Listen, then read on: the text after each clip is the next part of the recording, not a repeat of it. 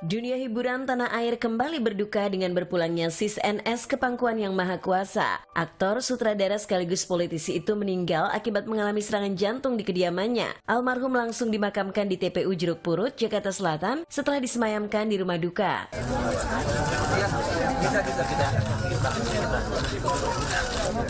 dari sesek-sesek saya ajakin gitu sampai itu mau ke UGD enggak ya nggak usah.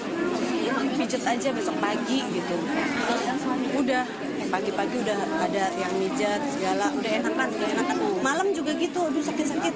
Saya pijetin gitu. Terus mandi sarapan.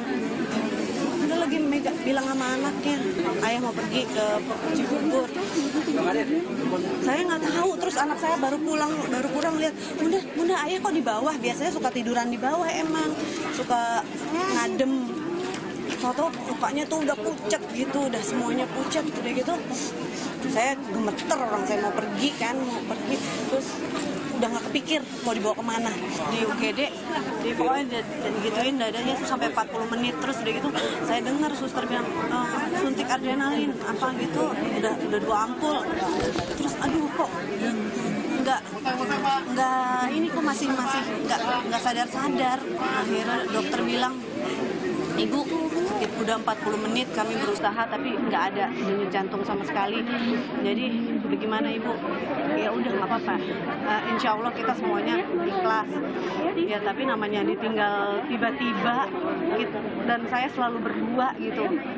Baru pulang bener-bener baru pulang berdua ke mana-mana berdua. Ya rumah ya berdua anak-anak udah besar. Jadi kehilangan banget. Dia nggak nggak penyakitan dia sa sangat sehat tiba-tiba saya pulang nemuin dia tergeletak aja di lantai. Di ruang tamu jam 11 ya.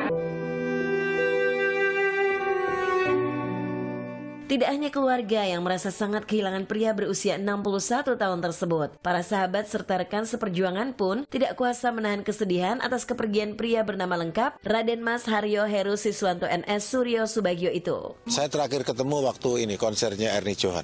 Hanya karakternya Sis NS itu menurut saya memang hebat. Dia tuh kadang-kadang orangnya serius juga ya, tapi santai. Sangat merasa kehilangan sekali. Kalau prestasi udah sangat banyak nggak kehitung. Luar biasa baiknya dia sosial dan lain sebagainya. Makanya tadi kata Ustadz, kata Menteri pun juga uh, orang seperti berjiwa malaikat seperti itu ya. Walaupun dia memang saya tahu dia juga seniman.